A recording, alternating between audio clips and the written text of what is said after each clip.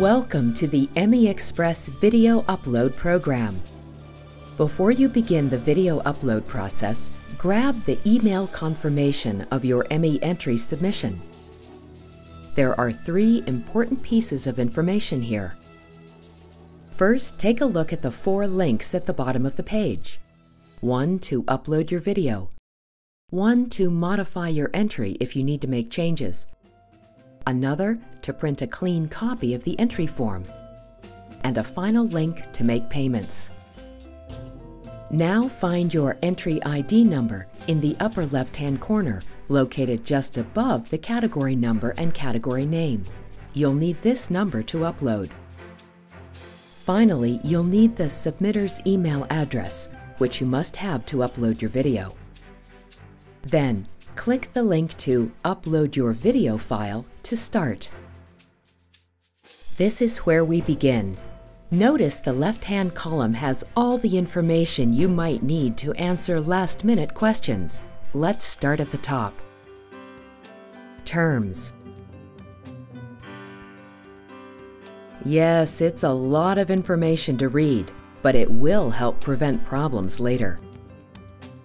Video uploading instructions, including formats and all the details. This is a list of the valid video formats, plus a step-by-step -step guide to this process, which you can access at any point during the process if you need to. Flash Player Upgrade. Links for you just in case. Internet Speed Test to make sure your computer's fast enough. And finally, I am having a problem, so you can send an email to the office.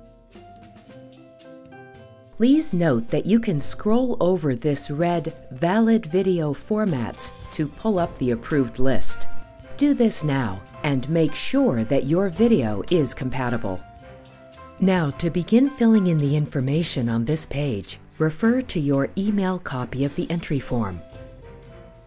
Use the drop-down box to choose the category for your entry. That's the first number, which corresponds to the name of the category. For purposes of this demonstration, we've created a bogus category, which is number 59, Sample Category. Next is the entry ID number.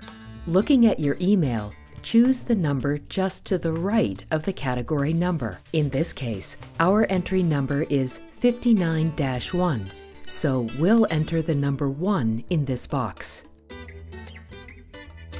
Enter the submitter's email address from the form. It must be the same address so that this video matches the entry form perfectly, and the judges will see the correct video. Finally, you must check the Agree to Terms box. The terms are in the Resources column on the left. Read them, then check this box. Now click the Submit button to proceed to the next step. This next page gives you some instructions on the upload process. It's tempting to skip it, but the number one upload problem comes from people not reading the instructions. Don't let this be you. At the bottom of the page is brief information about your entry, the entry ID number, the title of your entry, and the description that you wrote. Is this the video you want to upload? Please make sure. When you're ready, click on Proceed to Upload. This is the page where the uploading occurs. First, select the video file from your computer using the Choose File button here. Double check that the type of file is acceptable, then select Upload. Once you click Upload, the page will change and you'll see the green progress bar to let you know where you are in the upload process.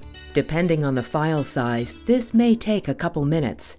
It's okay to leave the computer and come back later, but do not close your browser at this stage or the upload will not go through. This is critical.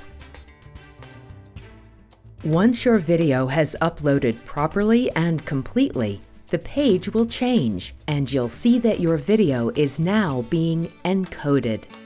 Notice the status bar. At first it will read, Processing. Then it will change to Ready. Be patient. When the status bar says Ready, then you need to take a look at your video by clicking on the video box on the right. Watch it all the way through. What you see here is what the judges will see. You may enlarge the video screen if you wish. Now, the good news here is that you may close your browser at this point and come back later to watch and approve your video. You've already received an email with the link to this page, so getting back to this page is a piece of cake. After you've watched the video, click the button to approve or disapprove your video. And here's the deal. Your video will not be available to the judges until you officially approve it, so you don't want to skip this step. This is the final step. First, select Approve Video or Reject and Delete Video from the drop-down menu. Again, your video is not officially entered in the competition until you approve it. But once you approve it, it's final. No changes, no redos. You also need to know that after your third attempt at uploading the same video, you'll be locked out of the system. Now, click the Finish button and you're done. There are two additional links for you here. One will take you back to the chapter's main website. The other is a quick link to upload another video if you have more than one entry to process. This concludes our video tutorial. If you have further questions, please contact the office via email or phone.